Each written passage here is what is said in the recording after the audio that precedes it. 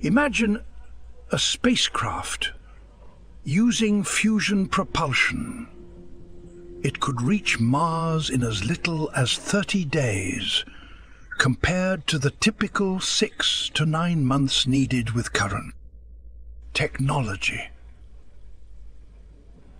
This remarkable reduction in travel time not only makes missions more feasible, but also significantly decreases the exposure of astronauts to harmful space radiation and microgravity effects. The ability to travel faster also opens up the possibility of crewed missions to outer planets, such as Jupiter or Saturn and their moons, where the potential for exploration and discovery is immense.